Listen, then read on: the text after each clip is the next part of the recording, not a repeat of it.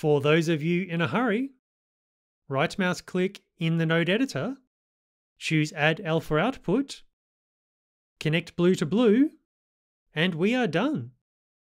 For those of you not in a hurry, stick around and I'll explain this properly.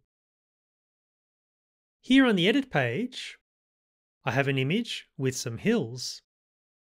I want to remove the boring sky to reveal the clouds in the image below. So with the playhead over the clips, let's jump into the color page.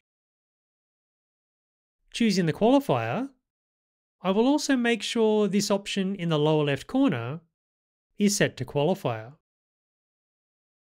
Let's click and drag across the sky to make a selection. To invert that selection, I will click this button. The preview of the selection looks great here in the node, yet the image remains unchanged. Let's right mouse click in the node editor and choose Add Alpha Output, which adds this just here. Let's click and drag to connect these two points in blue and check it out. We have successfully hidden part of our top image to reveal the content below.